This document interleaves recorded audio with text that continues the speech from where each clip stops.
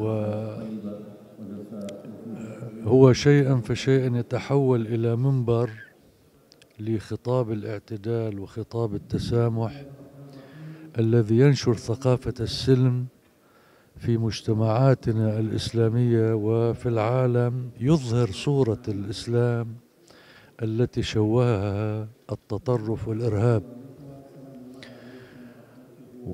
وهذه الجهود طبعا التي نراها هي آه، جهود ما كانت لتؤتي أكلها ولتنتشر لولا الدور الفعال والمؤثر والكبير لسماحة الشيخ عبد الله بن بية الذي يشكل